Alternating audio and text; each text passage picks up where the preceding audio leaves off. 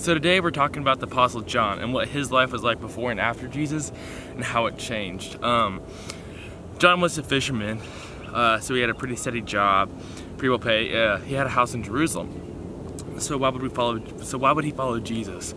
Um, I want to start off with that point. So it says earlier in Scripture that uh, when Jesus taught in the synagogues, the people were astounded because he taught as one having authority. So maybe that's why John followed uh, Jesus. Or maybe he saw something that's like, hey, I want to receive glory and praise for this. Or maybe he was just astounded and saw that Jesus was the Messiah. Because if we look at uh, Andrew, he, when he went to tell Peter about Jesus, he said, we have found the Messiah. So maybe John knew that Jesus was the Messiah at that point. Was the, uh, John and James are brothers, and they were the sons of Zebedee, also called sons of thunder. Why are they recorded as being sons of thunder? Uh, I referenced that to Luke 9:54 when they were passing through Samaria, and they asked Jesus if, if they should call down fire from heaven as a prejudice against the Samaritans.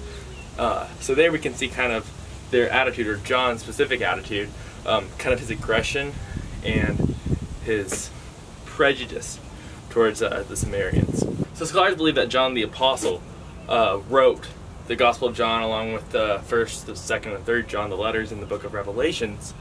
Um, so in the Gospel of John, John is referred to as the one Jesus loved. So we can see that Jesus and John had a very tight connection by looking at that Gospel. Specifically, if you look at the Last Supper, when Jesus was talking to his disciples, saying that one of them will betray him, the one that Jesus loved leaned back and asked him, "Who is the one that is going to betray you?" And Jesus said, "The one that I give, the, the one that I give bread to." And I'm pretty sure that's John 13, 21 or 25.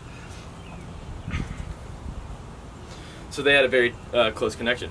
John was also at the crucifixion of Jesus. He was there at the cross where well, all the other disciples ran and fled away, but John was there. So John and Jesus had a very close connection. They had a very close relationship. It was thought that John would live forever because if you look at John 21, 20, I think, if you look in the last chapter of John, Peter and Jesus are having a conversation, and Peter asks Jesus, Well, what about John? And Jesus replies, If I want him to live forever, what is that to you? But then it goes on to say that some of the apostles thought that he would live forever, but that's not actually what happened. Jesus said only if he wants me John to live forever. So John actually did not live forever. John was also exiled to the island of Patmos, where there he wrote some of the letters in the book of Revelation. So, what can we take away from John's life? We can see in John's life uh, the transformation, if we look back at Luke 9 54, how he was very aggressive and kind of prejudiced, to if you look at his letters in the book of John, you can see how he talked about love and encouraged love. Uh, he focuses a lot on love in the book of John. And he also encourages the churches in his letter. So we can see a life transformation that spending time with Jesus, having that close relationship with Jesus Christ, we grow in Christ's love, and then we have that love in ourselves that we can pour out to others. That's something that we can take away from John.